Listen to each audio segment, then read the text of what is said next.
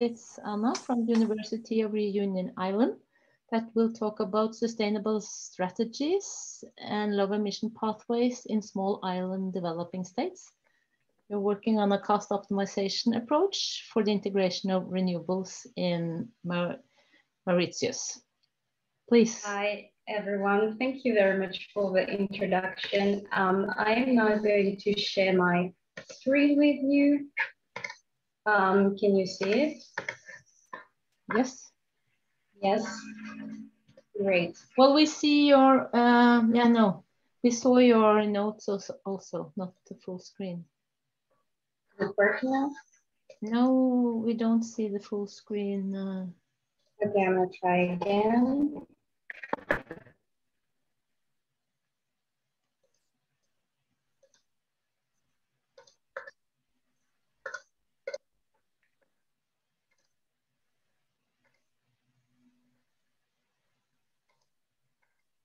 Is it okay now? Or still? Um... We still see your sort of the your notes and the next slide. So I think you could choose uh, the second screen. Press F5. okay, I'll try one more time. So I think now it's going to work. Is it better? Perfect. Please. Great.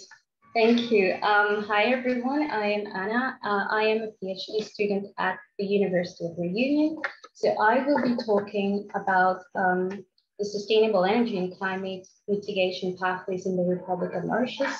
So this is a work in progress, and I have been collaborating with some postdocs from uh, the Center for Applied Mathematics so a bit of um, context before moving on to the methodology.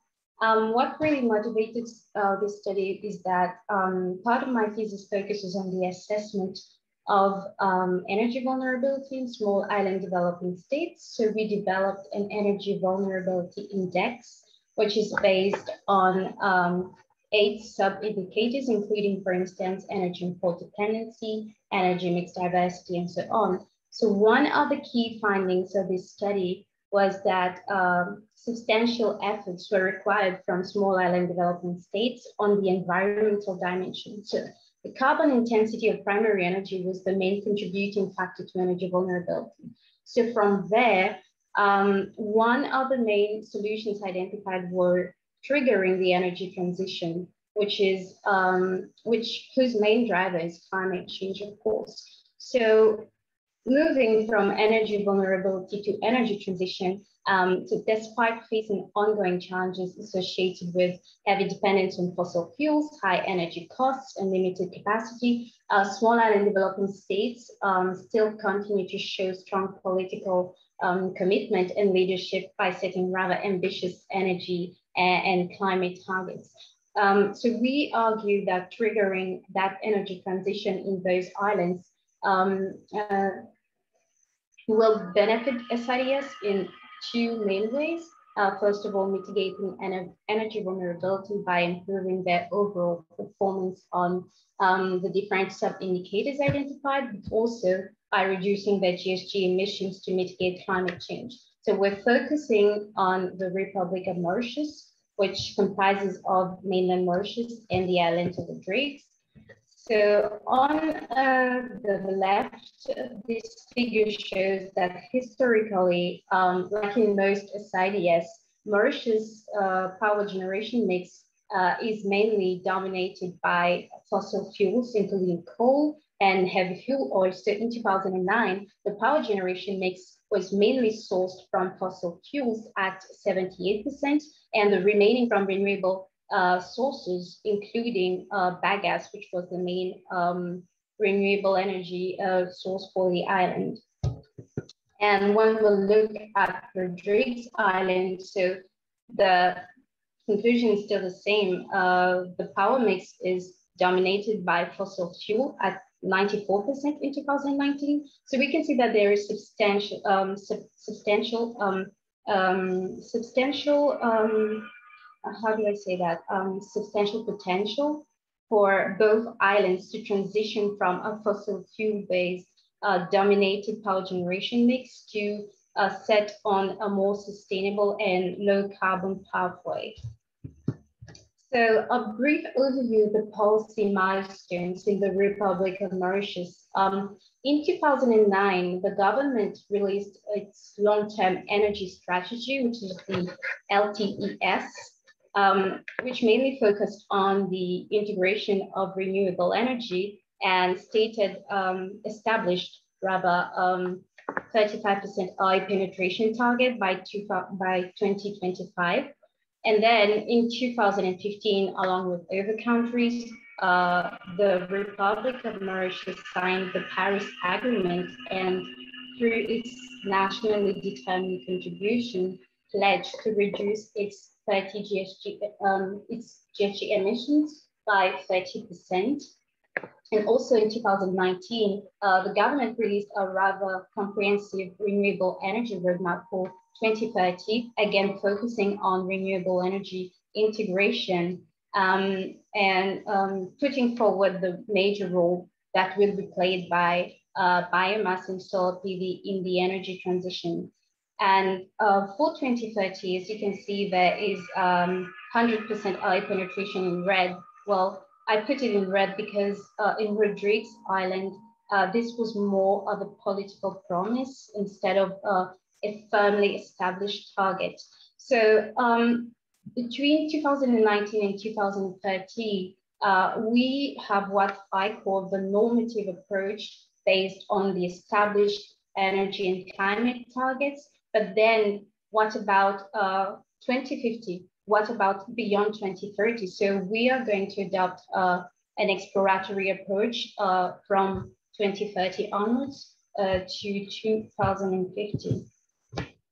So um, focusing on both climate energy, uh, climate and uh, energy targets, uh, we thought it would be interesting to investigate the impacts of both targets on the future evolution of the power generation mix in the Republic of Mauritius and try to determine which of the two is actually uh, most likely capable of shaping a secure and sustainable energy future for the island, for both islands a quick overview of existing studies on the Republic of Mauritius. While of the four studies, Weisser 2004 was the only one focusing on the rate. So all of which was not really a cost optimization bottom-up model.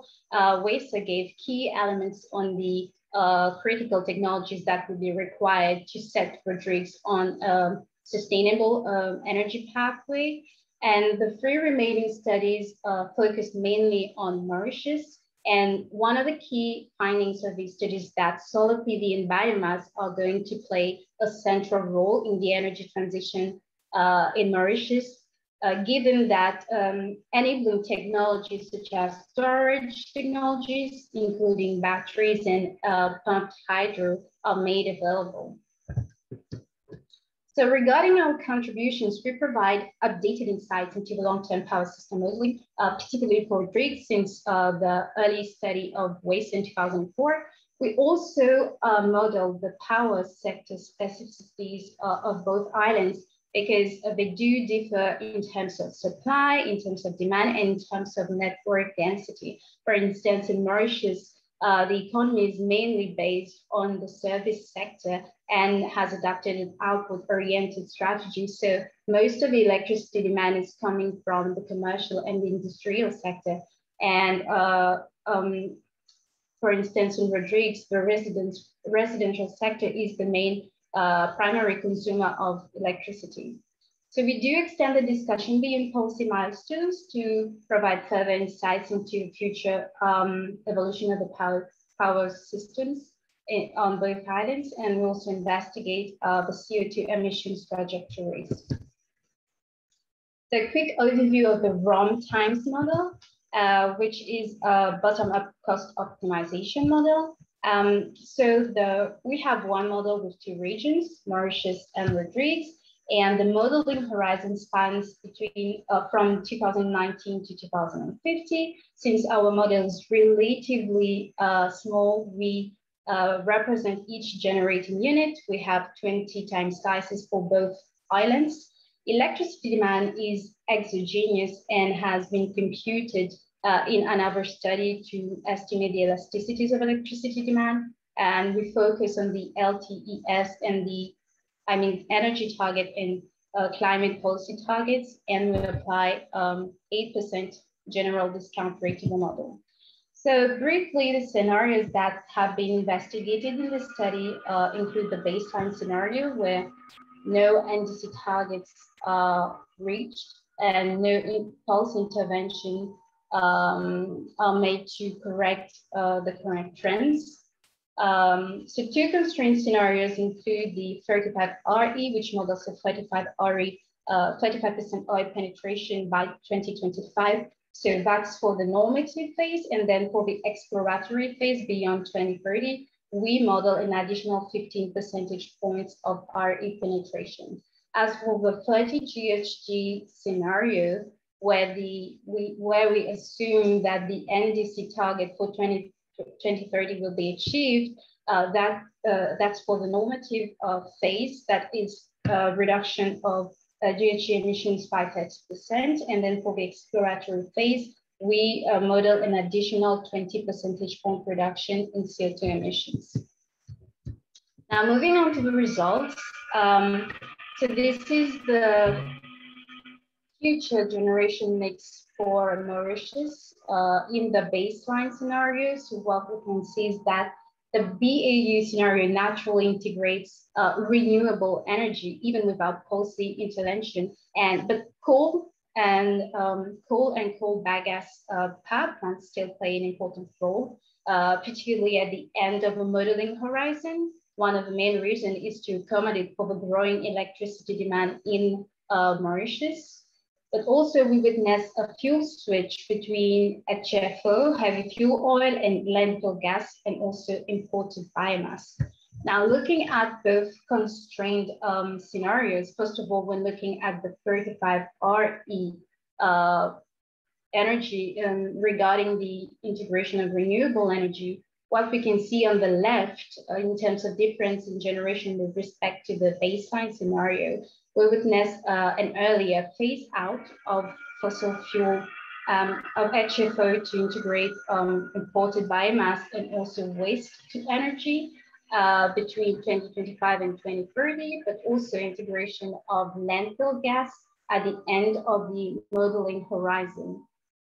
As for the uh, 30 GHG scenario with respect to the BAU, the baseline scenario, what we can see is deeper cuts in uh, fossil production than in the 35RE uh, scenario. So if you look at the y-axis, you can see the difference in, in terms of um, efforts to actually um, satisfy the constraints. Uh, so we can see, um, So we can see that um, there are deeper cuts required in the 30 GHG scenario to uh, satisfy the constraints, but also to accommodate for the growing electricity demand. And uh, by the end of the modeling horizon, um, coal was replaced by landfill gas and to some extent uh, offshore wind. Now looking uh, to the power generation mix of Rodrigues Island, well, we can see that uh, the most obvious thing I, I, think we can see is that um, fuel wood plays an important role in the uh, energy transition um, of Rodrigues, be it regarding energy, uh, climate energy targets or climate targets. Um, and also um, the BAU naturally integrates uh, renewable energy uh, thanks to fuel wood and solar PV. And we also witnessed fuel switching between um, HFO and onshore wind uh, to achieve emissions reduction targets. So by the end of the modeling horizon, uh, variable renewable energy in terms of solar PV and onshore wind are expected to penetrate the power generation mix at a rate of 45%. Now, looking briefly at the CO2 emissions trajectories, what we can see here is that, um, so you have the 30 GHG scenario, which accounts for emissions in uh, re reductions in uh, CO2 emissions. But then what we can see is that both the BAU scenario and the 35RE actually account for increases in CO2 emissions. So we do um, observe that the RE targets, uh, the current RE targets set by the government of Mauritius do not, are not compatible with uh, the nationally determined contribution pledges of the Republic of Mauritius, and that's mainly for Mauritius Island. Uh, when looking at Rodrigues Island, um, although the the, uh, compared to the BAU scenario, there's a decrease. I mean, uh, sorry, from the reference to 2019, there's a decrease uh, in CO2 emissions, both in the, the BAU scenario, but also the 35 RE scenario. When comparing that to uh, the 30 GHG scenario, what we can see is that there are more stringent uh, reductions in CO2 emissions when a constraint is put on the level of emissions that are allowed in the model. Um, switching to the economic impact, so in terms of NPV, just uh, saying it out loud, but um, regarding the differences uh, between the 35 R and BAU scenario, the differences were not uh, substantial, they were uh, negligible, but then looking at the 30 GHG scenario, uh, both are slightly more expensive for Mauritius and Rodrigues. So looking at the figure difference in undiscounted investment costs with respect to um, the BAU scenario, I mean, um, what we see is that the 30 GHG scenario is uh, sensibly more capital intensive than the BAU due to the deployment cost of uh, landfill gas and also onshore wind. Now moving on to Rodrigues. Only. Okay, thank you. Thank you. Uh, now moving on to Rodrigues, uh, what we can see is that investment requirements in BAU and the 35 RE are similar, are no differences. But again, the 30 GHG scenario is substantially more capital intensive than the BAU scenario due to the deployment of onshore wind. Now, moving to the conclusion, uh, what we did in the studies uh, um, put into perspective both energy and climate energy targets and see what are the impacts on the future uh, evolution of the power generation mix. So one of the key messages here is that RE targets currently set by the government of Mauritius are not compatible with the ROM's commitment to the Paris Agreement.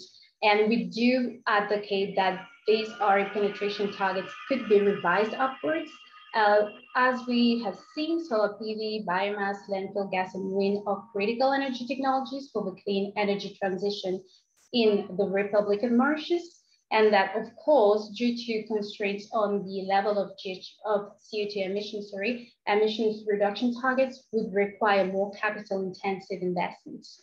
So we advocate uh, for Mauritius to focus on CO2 emissions reduction efforts and design um, adequate policy packages for climate mitigation. So what we're going to do next is uh, carry out a comprehensive sensitivity analysis and key parameters to deal with uncertainty and most importantly, as regards the biomass potential because it plays a central role, particularly for Rodrigues Island. Um, we're also going to carry out a sensitivity analysis as regards the technology specific rates and social discount rates.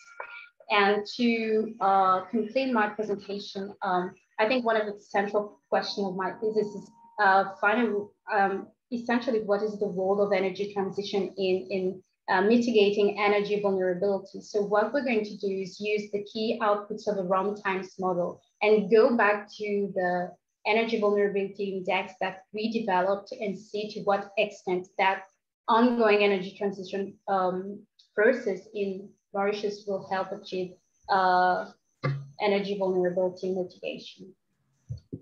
So thank you very much for your attention. If you have any questions, I will um, gladly answer them.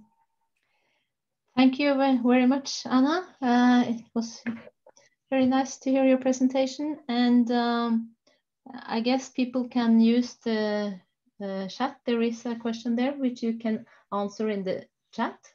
And then we can